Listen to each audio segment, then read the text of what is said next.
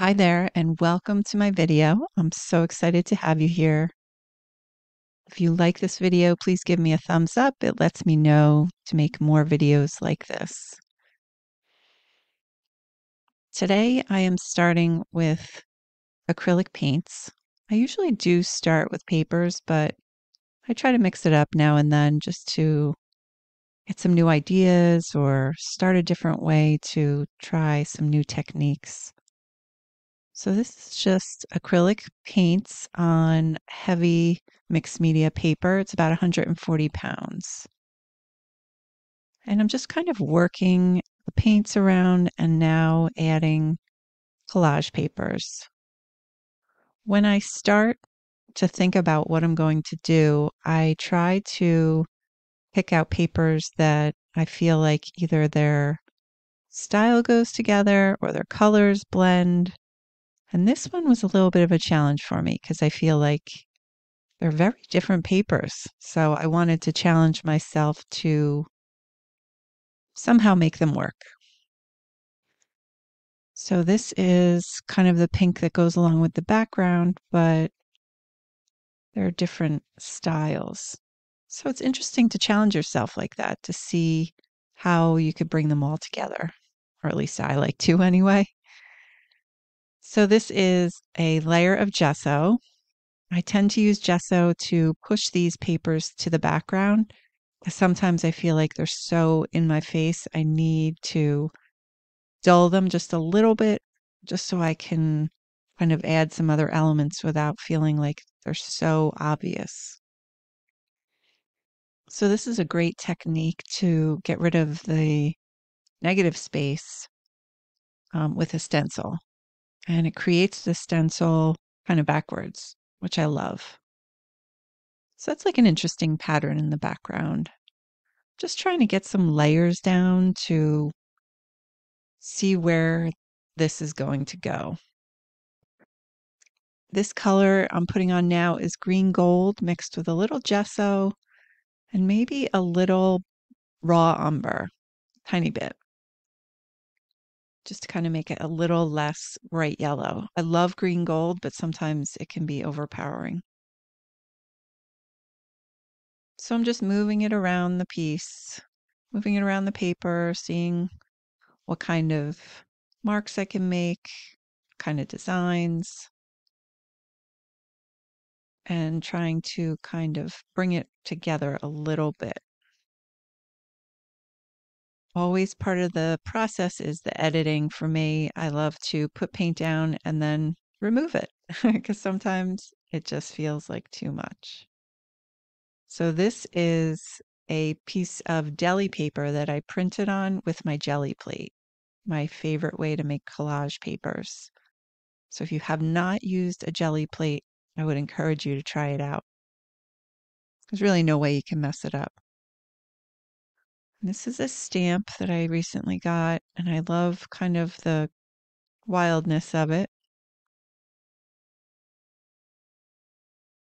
Just putting down some layers. That's brown deli paper that I'm just kind of trying to blend some things in so it doesn't feel like such a mishmash. Now this thing that I'm using is bubble wrap. I love using bubble wrap as a stamp. It's really simple. And then when it gets too kind of built up, I throw it away and I cut a new piece. This little design is something I drew on deli paper. Again, I love the transparency of the deli paper. It's so easy to use. And there is my bird. I think it's a crane of some sorts and I'm putting it on carefully because I did use my inkjet printer to print it out. So I'm putting the medium behind it, a liquid medium, and just gently pushing it down so I don't run the ink on top because then it gets a little messy.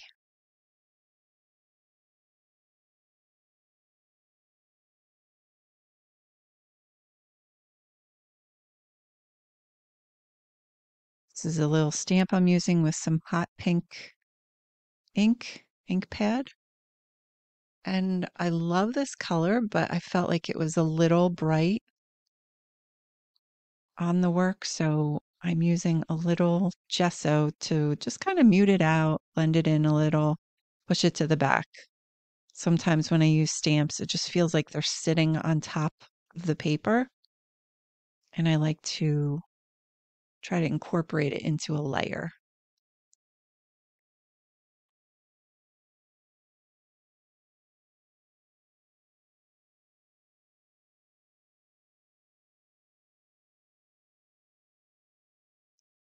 So this is my micron pen that I love to use for some mark making and details at the end. This one is a dark gray rather than black. And I like the dark gray because it, I don't know, it's just a little less harsh. I like putting a little border on. Just kind of identifies the piece for me.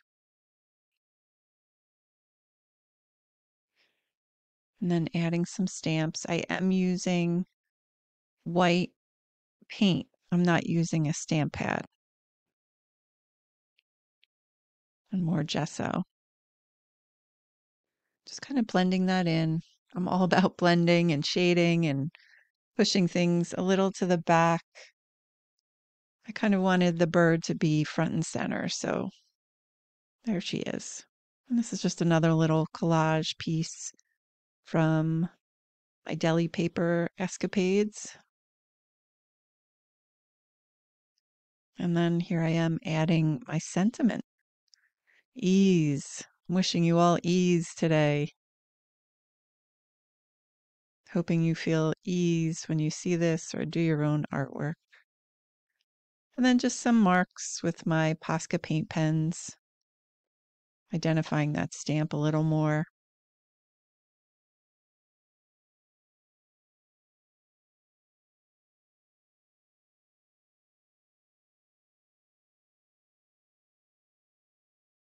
I love using the Posca pens to make some marks at the end. Just kind of a fun way to finish it off.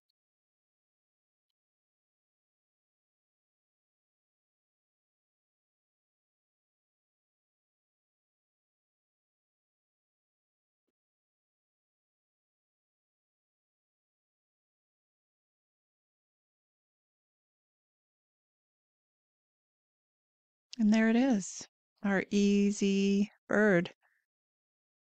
You can see the little details there.